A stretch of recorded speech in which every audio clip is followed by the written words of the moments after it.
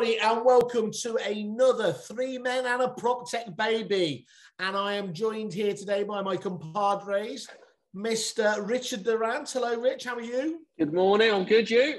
Perfect. Lovely. Non-COVIDy, which is a benefit. Paul Morgan, you okay? Very good. Tip top. How are you? I'm I, well, look, as ever, looking forwards to this little s- a snapshot of all that's good in the world of suppliers. And today we're going to be listening to Bruce from Hive EA, uh, looking at their iPACS uh, solution, isn't it? So, who's going to take a stab at describing what that does from the outset? Who's going to who's going to be knowledgeable and say they know what it's all about already? I, I think that's the Mr. Morgan. Well, Um, It's, well, it's- it's addi- additional information to market your property to give you an edge over the other estate agents by effectively providing more information. So imagine we're at the time where floor plans are not ubiquitous, they're not everywhere. You're the agent that's setting yourself apart from the rest because you're making floor plans. This is floor plans point oh. Thank you, and that's the quickest ever three minute and a prop tech baby we've ever done. uh, you've done that before we're having a, a, a sip of your, your, your cup of tea. Okay, that's a lovely way to set us off. So, as usual, guys, what we're going to do, let's have a look at that. We've got eight minutes of video that Bruce has kindly put together there. He's going to talk through, explain at the beginning, I think, the proposition. We're going to then just stop it at points that we think there's we've got something to add, Gogglebox style, and hopefully add a bit of context, or indeed uh, to to just drill in with a few questions if we're unclear of it, so that we'll give the uh, Bruce and the team there the opportunity to come back to us because I'm sure if we've got questions and quandaries, other people will have too as well, won't we? So uh, whenever you, whoever's driving this is this, uh, it's not me because I always bugger that part of it up. So I assume we've left that bit down to Mr. Technical himself, Mr. Morgan. Let us loose. Hello, everyone. Uh, my name is Bruce Adams from Hive, and uh, we've developed a service called iPACS. Um, I'm really grateful to the uh, Kerfufflers um, for running through this short demo of mine that just explains what they are, how they work, and, and the benefits. It's quite a short demo, only 10 minutes. Um, so, why did we develop iPACs? Well, we developed them to, to speed up sales, reduce fall throughs, and provide estate agents with a, with a great listing tool.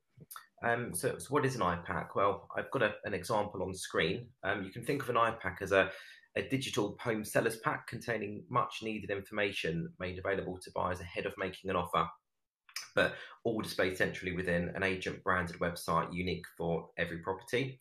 Now, there's some really good benefits to showcasing this type of information as a website. Um, so, we can make information really presentable and easy to digest. Um, as it's a website, the, the packs are constantly updating.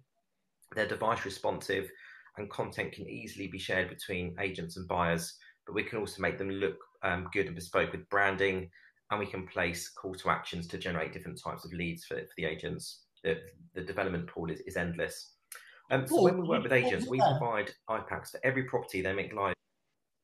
So the first thing that comes to mind, so as I understand it now, what we're going to be looking at here is that each property will essentially have its own microsite presenting all this relevant information. That's is that that, that is that right? Is that what we're going to be? Yes. Okay, cool. So they're hitting a. It seems to be absolutely on vogue at the moment, doesn't it? To, to be talking about speeding up sales by being by being ready, reducing fall throughs, and everything else.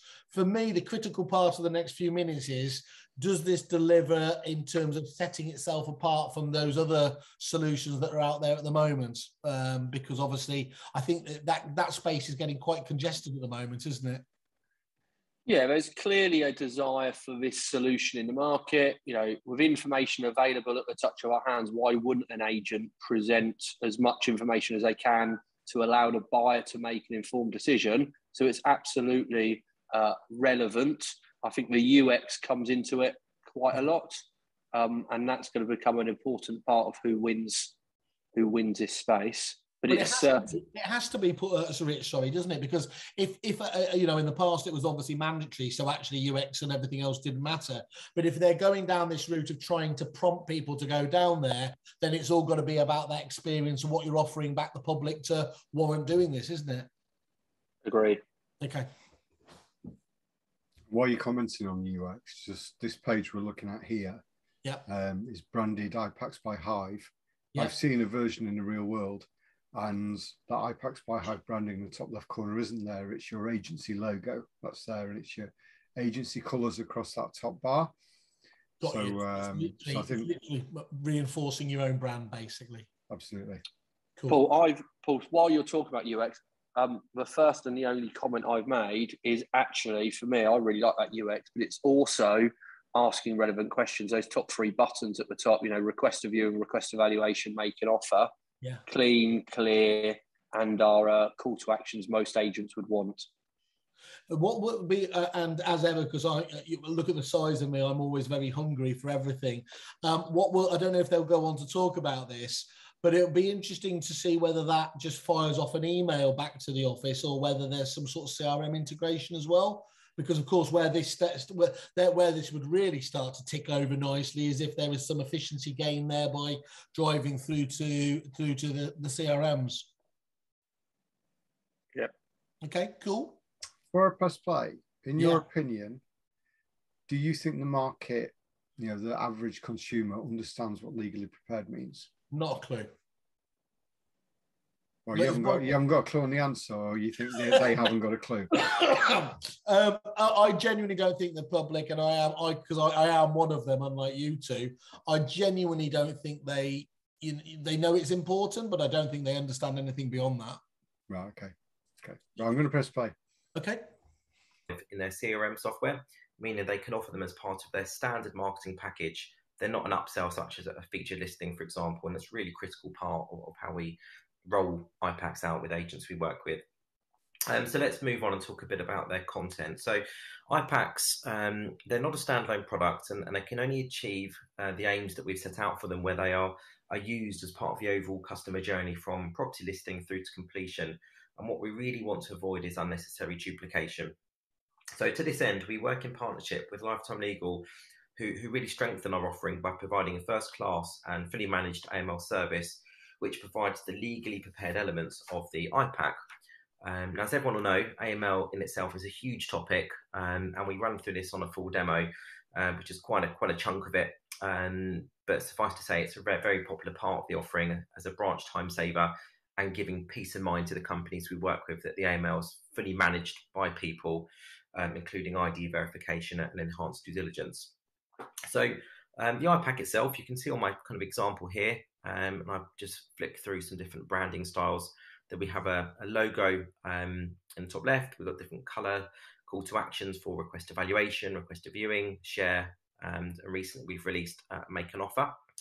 Um, so buyers can submit um, offers to the branch, um, including all of their agreement of principle and solicitor information. Um, now, the top of the pack will show a, a, message about what the pack contains. If we've been able to complete the pack with the legally prepared elements, this green bar will appear.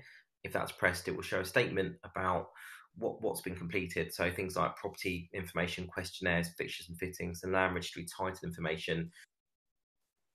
I think that's useful. That maybe reinforces the point earlier about the public not quite understanding what legally prepared means. I think yeah, it puts context around it, doesn't it? I also wonder whether having a property that is legally prepared in the vendor's mind makes them think I've done all this kind of conveyancing pre-work mm. and therefore I'm more tied to the agent because if I leave the agent I've got to do it all again. And I wonder if this reduces withdrawal rates. I, I think they probably are.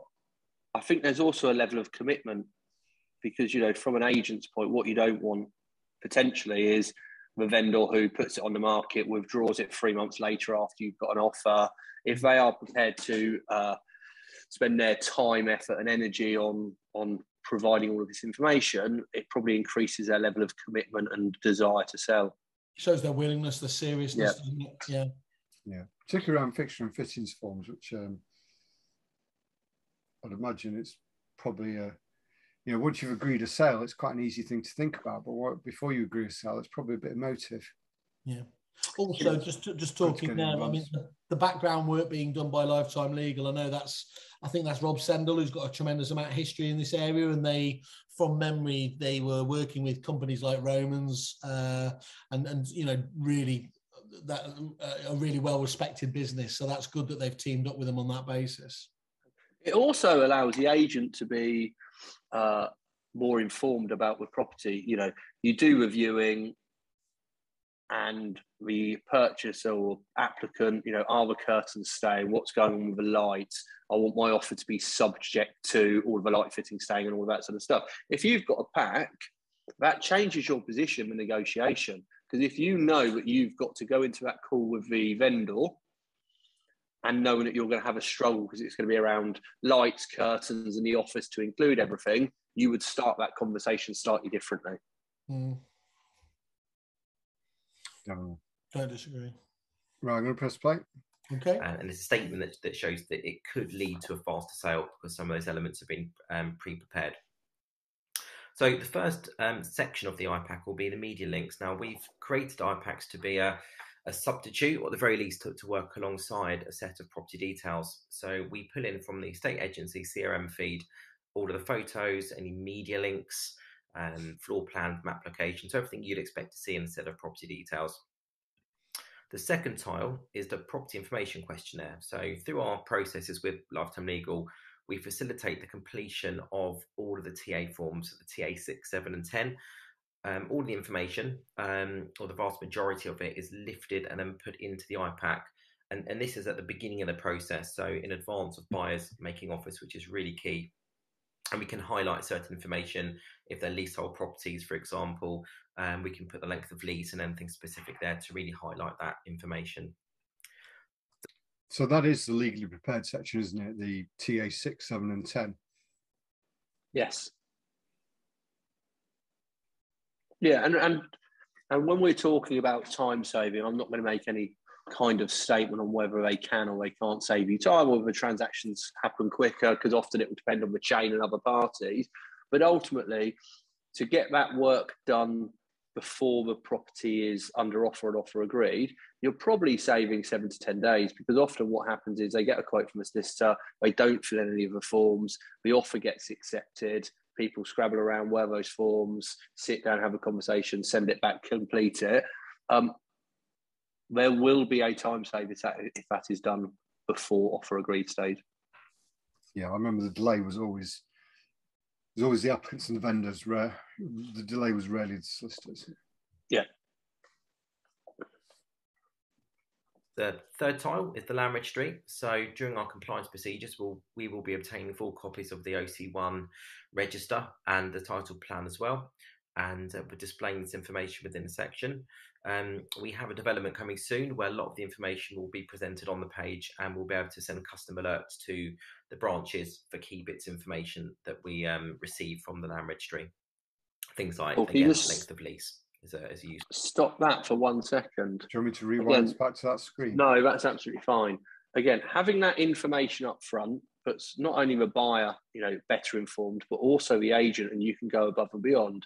So if when the pack's completed as an agent, you can find out the property is on a floodplain, uh, you, you're going to know that buyers will be concerned about insurance costs. So would you go to the vendors before you get the question from a buyer and ask for a copy of their most recent insurance so you can uh, so you can answer any questions uh, and possibly pacify a buyer's concern when you say actually your insurance would only be X, Y, and Z because we've got this current quote. I just think it allows it allows better conversations from agents. You know, if you are sat around that property on a viewing and somebody is talking about buying a property in order to extend, and you know that tree next to it has got a TPO on it, let's stop that conversation because they're not going to buy it. It's just going to fall through eight weeks later. Yeah. Is there anything around, you know, occasionally people extend their property boundaries and claim extra land? Is there any visibility around that as well?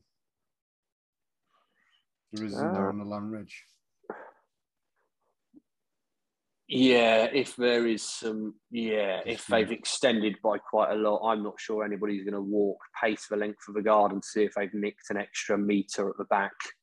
and so on, but, that's what I mean, you yeah. it's like if you've gone into the farmer's field or that type of thing. Yeah, yeah, for one. So the legally prepared elements are then fused with several data sets that we um, operate, so or we source. So we've got the EPC. Um, we uh, use house price trends. We use the properties postcode to plot the um, recently sold in your street prices along with average prices for property type. Um, we have um, school information. So from the Department of Education, we'll pull in the different key stages, locations, uh, and, and, the performances of the schools across certain metrics. And similar with um, transport links, health, local authorities, policing, and broadband mobile. So potential buyers can see what the um, speeds might be for broadband and what the signal strength are for the uh, the main operator. wonder if you can switch any of those bits off. You, if you, you might you might not want to put the policing record on there if you uh, if you live in a dodgy area. Paul, my I just wrote something completely opposite, and and you're probably right, not me. I just put actually, if all of this information is readily available, which it is, you know, just because a website doesn't show it, not doesn't mean that somebody's not going to go and search it or find out, and it will be involved in in your legal side. So if it's all readily available, why not make it easily accessible? Yeah, yeah, it's, it's probably the 1980, 1980s agent in me that sort of thinks that. I I would want every single applicant to get in touch, and if I can reduce the number of reasons why an applicant wouldn't get in touch, then that's that good. Would yeah. Uh, so therefore, if it's is it if it's a, a property in an area where the crime rate's recently been awful or historic was awful now is good, you know, are the things that we might want to switch off. But, well, but you're but you're absolutely right. If they're going to find it anyway, they're going to find it anyway. If someone's someone's a keyboard warrior, they will find that information, won't they? it's a classic classic case here where we always say we'll go back to the supplier and just clarify a few of those points. So can it be customized? My gut feel would be yes, because um, I, you know, knowing knowing uh, uh, agents are tremendous for saying we just want it exactly the same as everybody else, and then you proceed to ask for it in a million different ways. So I'd be surprised if Bruce and the team there haven't been uh, been questioned on this already. Let's find out. Yeah. Uh, personally, just on though, though, all these different subsections because um, you know they're doing a lot. A lot of the most um, most functional agency sites out there have elements of this on there, and I really like the way they are presenting it. It's very clean, very very slick, and easy to to to digest. It is, isn't it? Yeah, I was really impressed with the user experience. Because I'd be all like you said, keyboard warriors. Who isn't a keyboard warrior when they're looking to looking to move. You know, you're going to be all over this, aren't you? And I, know, I do know. Look, in my previous, obviously CRM, we had a web division, um, and you know, providing that school, the, the, the hit rates on things like the school sections and local neighbourhood, uh, um, you know, sub pages was was phenomenal. So it clearly they haven't just added these in here for no reason, have they? Um, and I think that's um, that's going to satisfy even the most demanding of uh, of home searches. No, I mean, if, if I put my how could we make this better hat, the only thing I think is missing is maybe a commute section where you could type in where you work That's and it tell you, you know, how long your commute is. And it remembers that when you go from property to property to property. They used but, to have but, one but that's, that's London, me being they, Paul? Did Pardon? they used to have one? They had one for London. Did they? Did they extend that out across the country? That was yeah, yeah. I, I used to have one on the website of where I used to work. We had one, but it's it's changed, hasn't it? How long was your commute to work? Thirteen steps from from from from the lounge to the kitchen. it is a kerfuffle. Let's press on. In, doesn't in the UK. So really trying to give you know a one-stop location for information for buyers to to to, to understand a property um, again before making an offer. So we do um, also generate mortgage leads as well. So on the bottom right hand side of this IPAC, um, buyers can submit a lead. Um, these just go through to the branch, so we, we can put custom content on the page. Um, buyers can just select which type of service they need, fill in the form, and it sends a link through to the branch.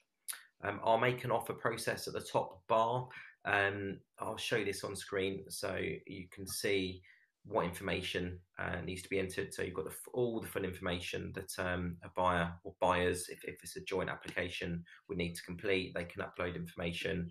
Um, it really helps, um, you know, streamline um, the, the process for how the information is, is gathered for an offer.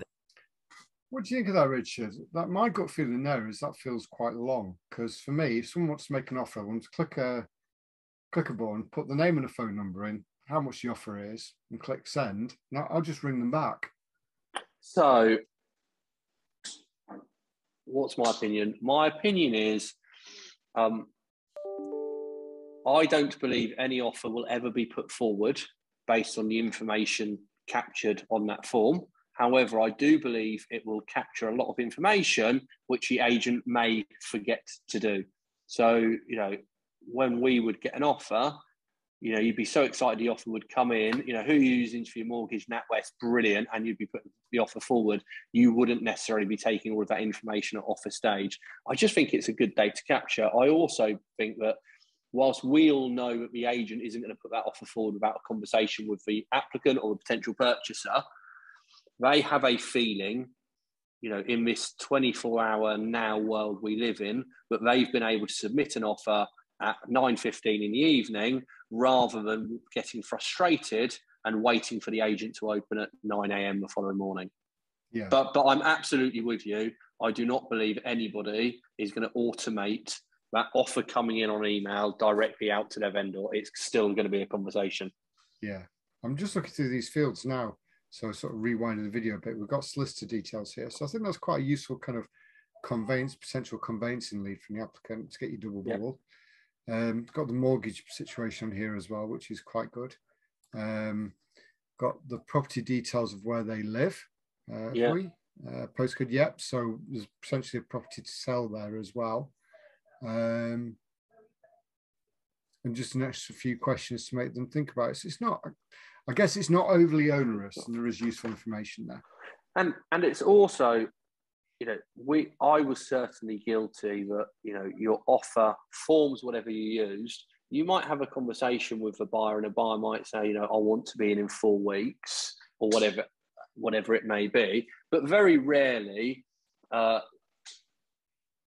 very, very, very rarely did it go in the sales memo or anything else. So actually, if it is time critical, once you've got it written down, if that buyer's put, you know, do you have any critical events that need to be factored in? You know, when do you need to complete the transaction by? if they don't put that in, and then in four weeks' time, they're, you know, on your case saying, I need to complete by the 1st of December, you can refer back to this. I mean, that doesn't solve the problem, but from your vendor, you can't ever be accused of uh, not presenting all of the information of the offer. Yeah. And, and another point that I've only just thought of, so you can tell we're winging it, is um, you know, the agent's got a legal responsibility to get the best price possible for the vendor. So having the information here about time critical events puts the agent in a knowledgeable position when negotiating with the buyer in order to get the best price possible for the vendor. If yeah. there is a time critical, critical event coming up, using time as a as a bargaining chip, like we saw with Brexit, um, could be a way of getting better a better outcome for your vendor. It's great. I'll take it all back. I quite like this form. I wish I'd thought of it. well, I'll press play. All the full information that um, a buyer or buyers, if, if it's a joint application, would need to complete. They can upload information um, it really helps, um, you know, streamline um, the, the process for how the information is, is, gathered for an offer that needs to be put forward to um, to a vendor. Um, so the, the, reason we, we speed up sales is by carrying out all of the onboarding work at the outset for vendor clients um, and, and, making it available to buyers via the IPAC, giving them information um, that they can query before they've made an offer, um, which really has shown to help with with fall throughs. Um, we look after the legal preparation, which includes title information, PIQs, uh, meaning that the conveyancers can then proceed with a draft contract at an earlier stage. And the key is that it's really a simple, fast process for agents and, and a no-brainer, especially considering the the, the AML um, service that comes alongside IPACs. Um, the additional benefits are they're a fantastic listing tool. There's no better um, visual aid for an agent to use on evaluation to discuss the benefits of being legally prepared. Um, we generate um, a, a, multitude of, of, of, lead types, and we provide an IPAC for every listing. but we also pay referral fees. Um, because the IPACs aren't a standalone product, we, we work with solicitors, either the agent's existing firm or a firm that we already work with, who then receive all of the information to avoid any, any unnecessary duplication.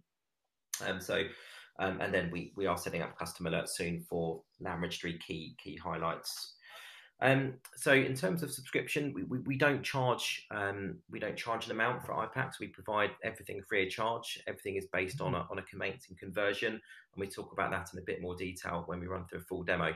Um, but, but but it very much is positioned as a no no brainer product um, because we do all of the aforementioned legal preparation, uh, provide a, a great listing tool, and we speed up the sales and reduce fall throughs.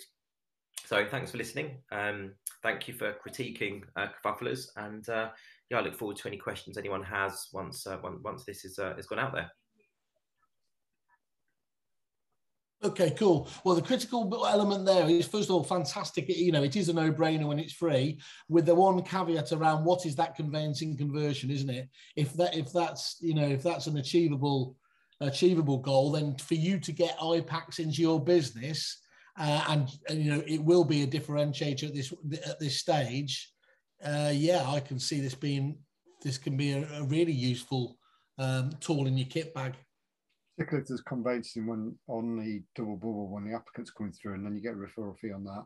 Yeah, you know, w- without having done any extra work, you're getting two lots of conveyancing referral fees. Yeah, yeah, monetizing monetizing contacts you otherwise might not have done. Yeah the, uh, the critical one there as well is they mentioned mentioned there about a CRM. I'd love to. I'm going to just do a bit of digging with these guys just to find out. Uh, is it you know bi-directional Well, is it bi-directional or whatever else? You know, you've got in, as I said at the beginning there, you've got information about make inquiry. Most of the systems will handle. Could, I would imagine be able to handle that through things like their portal lead uh, tools and things like that. There's arrange viewings. A lot of the systems now have you know, have digital tools that enable you to actually plug into that and, and book straight into the diary. That would be fascinating. I'm sure if it's not there now, that's where this will all be going in the future. I think so. You know, from what we've just seen today, I'm a fan. I and I, and I bleat on about it quite a lot. Why should you buy technology? My opinion is it improves consumer experience, which I believe that does by providing all of that information.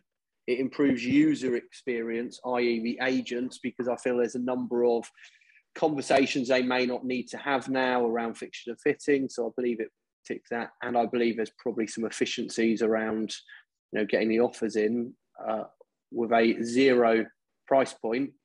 You know, it ticks every box with a caveat around, you know, conveyancing service, conversion rates. Um, but but for me, I thought it was really good.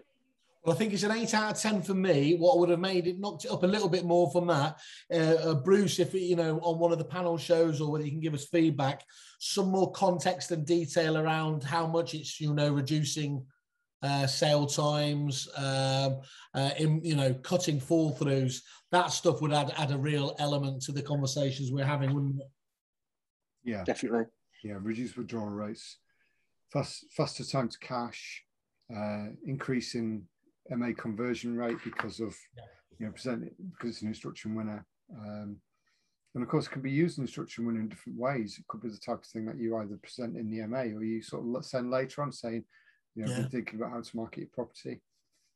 Here's, here's some, here, this is what we do, or this is what legally prepared means. You know, there's different ways to use this. And I like Absolutely. That. Yeah.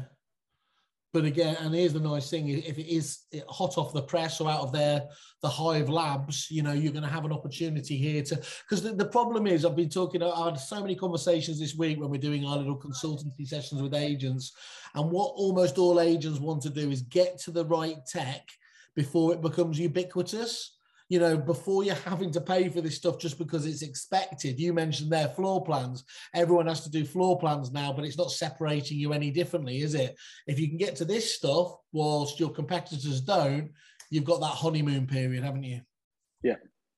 Definitely. Definitely. Thumbs up. Thumbs up from me. Thumbs up. I forget how we do the rating of this. Is it okay? Yeah, thumbs up from you, Rich. Definitely. Caesar says yes. Uh, and Paul, you had the thumbs up. I'm giving it the thumbs up. You got a triple thumbs up there. So well done, Bruce. Uh, Hive. We'll, we'll, we'll want to get some more questions out of you, but congratulations and everybody keep these keep these videos coming because we love covering them. Thanks, guys. Thanks, everybody. Cheerio. Everyone's kerfuffling.